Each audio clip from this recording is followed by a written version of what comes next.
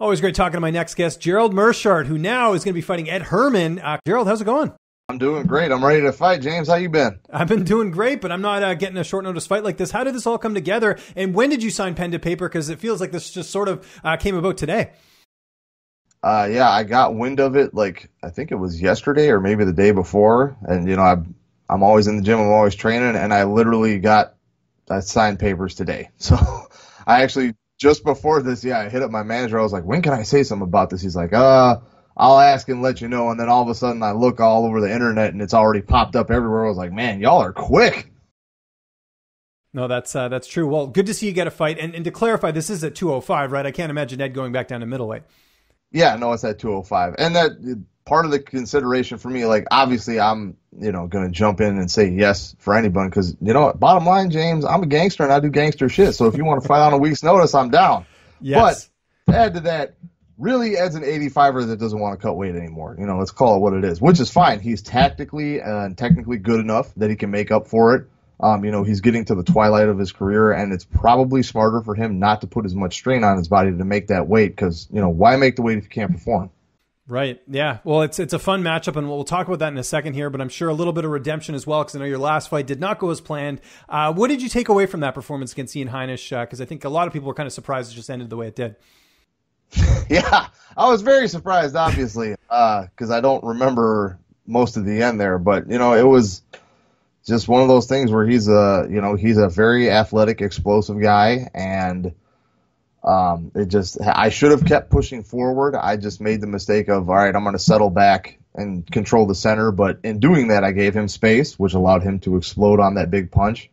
Uh, the one thing I'm really mad at myself about is I bit on the fake really, really hard, right? Like I went de- like because the whole time in my head I'm like, man, I hope he shoots because if he wants to take me down, I I'll just let him because you know he's really looking to only posture up and throw uh, big ground and pound on the ground, and I felt like I could navigate that fairly easily. And it was just one of those things where his movement was so over the top and I you know part of it I I don't really have too many looks like that in the gym. And that doesn't even matter really cuz like mentally I just hadn't you know realized or prepared that it was going to be such a drastic like you know it's not something that everybody does. And then when it did happen that was my reaction which was the wrong one clearly ended up getting clipped and that's all she wrote but now you know I got another chance to redeem myself and I'm going to go out there and do that how much time did you take off after that last fight? Not that much. Yeah, I just made sure I didn't have a concussion. You know, my my pupils were the same size. I didn't, didn't have any nausea or anything. Uh, I was definitely out for a second there, which was surprising because when I went back and watched the fight, I got dropped and I immediately like sat to half guard and started to work my game, and I was like, oh, that's cool. Even when I'm not conscious, I'm still doing the right stuff somewhat, right, yeah. Which is nice. But uh, yeah, I you know still working out here and there uh, for that week after, just doing cardio stuff to stay in somewhat decent shape. And then after that, I jumped back in pretty quick when I, you know, made sure. And we got doctors at the gym, and I said, you know, do you think I'll be all right? And they're like, yeah, you're fine. And I know even after that, even though you haven't had a fight, you've been helping a lot of your teammates. This is something we talk about a lot. Brendan has his fight, Brendan Allen. I know, uh, you know, a lot of your teammates, like even at the time of recording this, Sergio Pettis has his fight uh, coming up here tomorrow night. Um, what's it been like, you know, since then? Because I'm sure a lot of it, uh, you're, you're, obviously training, but uh, it's more so, I would imagine, training for for your teammates.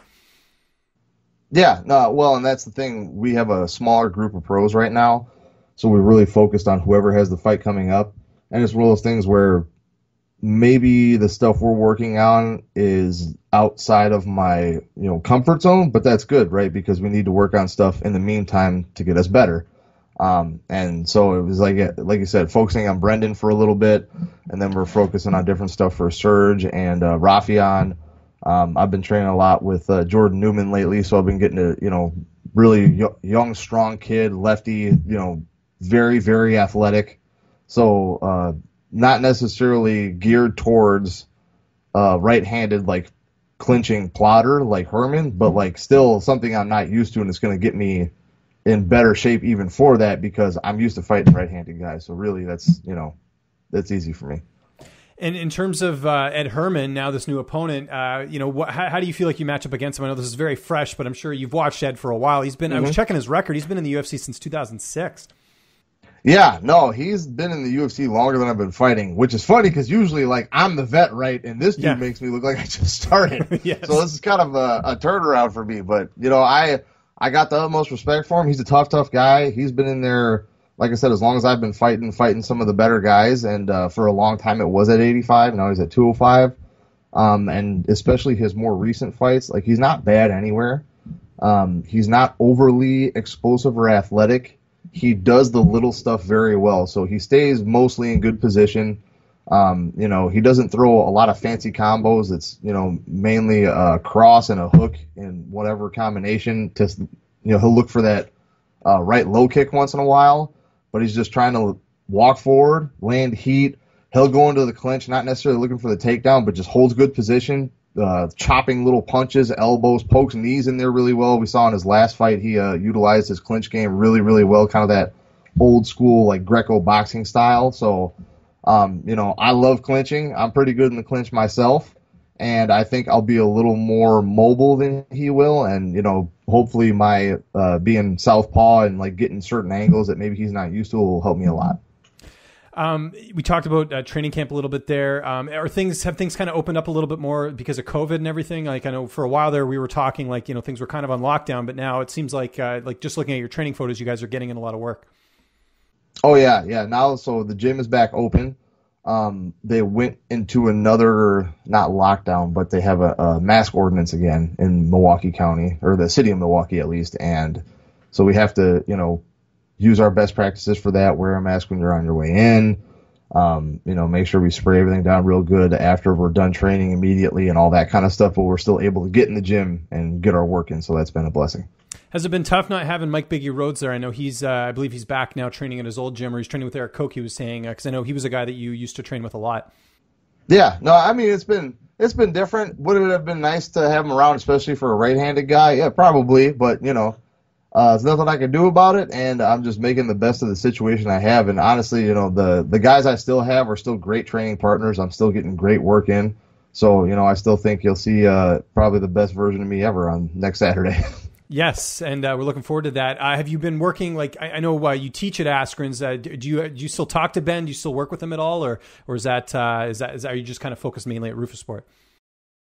Yeah, so I I actually saw Ben uh, for the last big fights with Usman and um, Usman and Masvidal. So you know we hung out a little bit. We talked. I was teaching at his brother Max's place. Um, I moved like really far away from there, and I don't know if they're like technically open or not. I think they might still be having kids there or something. But uh, yeah, I haven't been over there. I won't be able to go back to that location for sure.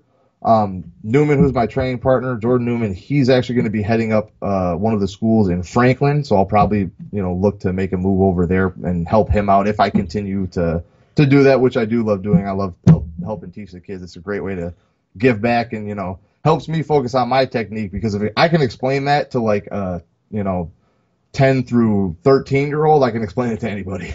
Right. Yeah. Once you got that master down, uh, it's uh, it's pretty easy after that. Uh, what about Maycee Barber? I've seen some photos with her. She's back in there. Is she doing like full training now, or is she still sort of easing into it with the injury?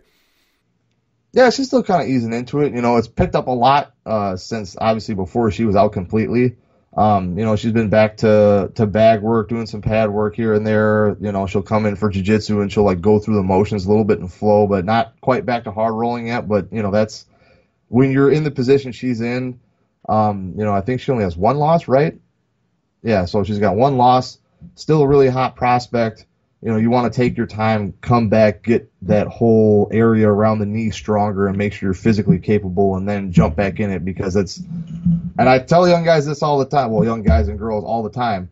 Don't rush back after an injury, no matter how small it is, because I can tell you, I've done it. I've done it myself plenty of times. You get hurt, soon as you're physically able to get back in the gym, whether you should or not, you're like, yeah, let's go. I got to make up for lost time. I got to cram for that test.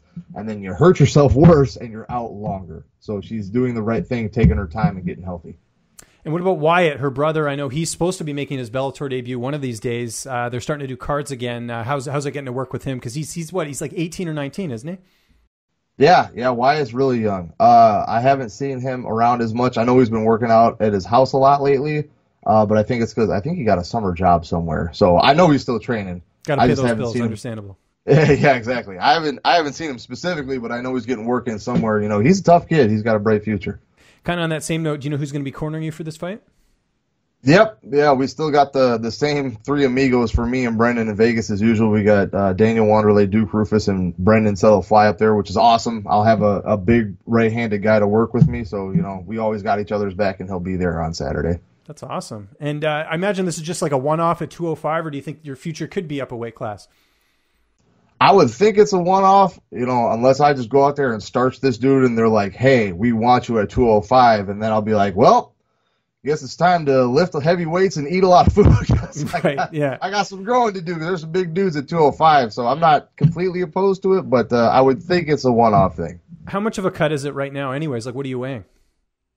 Oh, I, it's like nothing. Okay. Uh, after practice, I'm on weight for this fight, and Wow, you know, I think okay. I yeah, I think I woke up at 210. So, you know, as as big as strong as I look, you know, I'm not uh, too heavy even for 85ers. No, you're a big guy though. I mean, I've met you a handful of times, and I'm clear like I'm definitely a light heavyweight, but not for the right reasons. Um, but uh, you know, it's uh, like I'm, I'm hovering around there. I'm about 200, but uh, but in general, um, you know, do, do you feel like in some ways we might see a better version of yourself? Because I know it is a tough cut for you. You've never missed, but just to not even have to worry about that is that is that something that uh, you think could make you perform better in the cage? I guess we'll find out.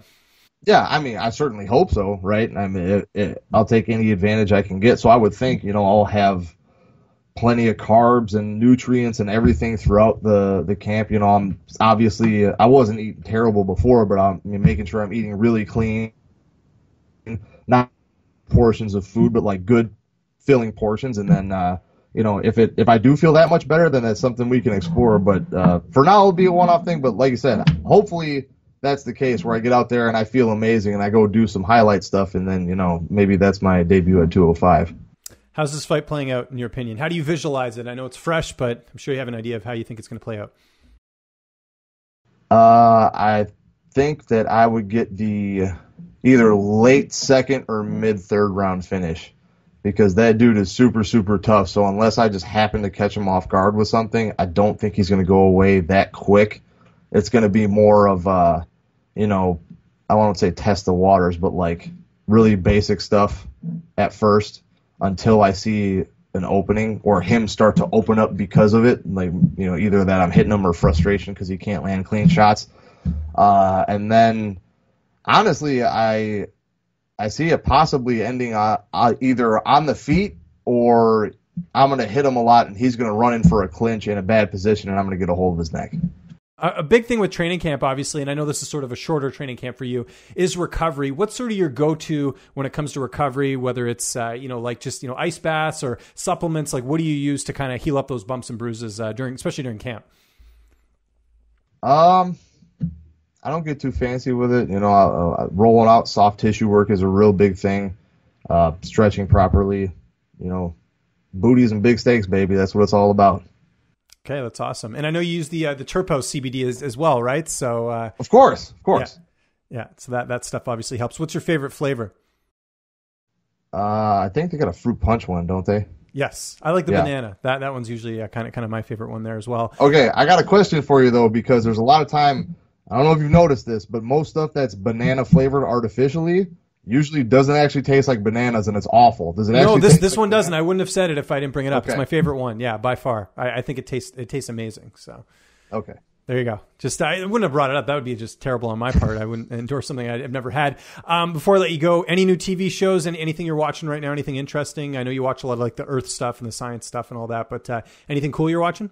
What are you watching now, nerd? No. so actually, right now, I'm, yeah, I gotta look for TV shows that uh, both me and my wife like. So we've been watching the, and it was based off that movie Hanna on Amazon Prime, the series. Pretty good so far. So that's what I've been getting into. You mentioned wife. Did you already get married? I didn't even ask you this. Oh yeah, already. Okay, when was that? Was that after your last fight or was it before? I was trying to remember. Uh, I, was it- I think it was before. Uh, Okay, gotcha. Yeah, we haven't done like the whole big ceremony yet because you know, COVID. COVID but- and everything. But you went down to the courthouse, I guess, and got everything signed. Yeah, we went down to the webcam and uh, I did it all. Seriously, we had to do like this and like How all right, romantic. put up- yeah, put up your birth certificate. Here you go. Put up your driver's license. Here you go. All right, boom, you're married. And it was well, like, congratulations, man. You've joined the joined the marriage club. That's great. thank you. So, guess guess you've changed a lot uh, since then, right? Yeah, I, I got married. I shaved once, so now it's growing back in. got a new tattoo. It's just big, big stuff. I moved into a different house. Right.